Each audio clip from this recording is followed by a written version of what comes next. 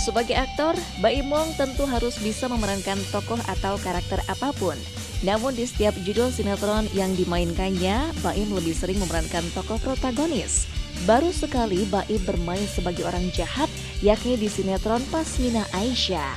Lantas peran apa yang paling nyaman dimainkan oleh Baim? Dua-duanya nyaman, gak ada masalah. Menyenangkan dua-duanya.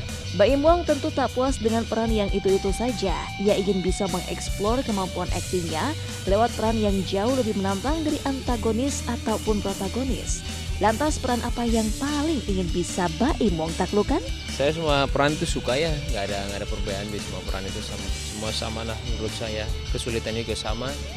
Uh, menjadi karakter yang biasa juga sama lah kesulitannya. Jadi uh, kalau yang mau sih semua peran pasti mau dan pasti kesulitannya beda-beda.